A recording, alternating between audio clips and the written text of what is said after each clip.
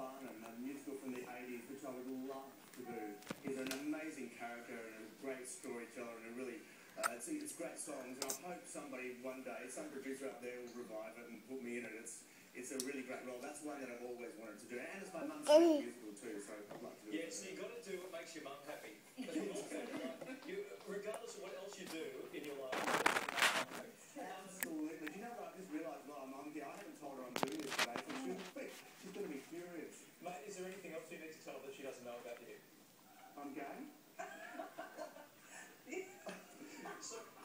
Oh.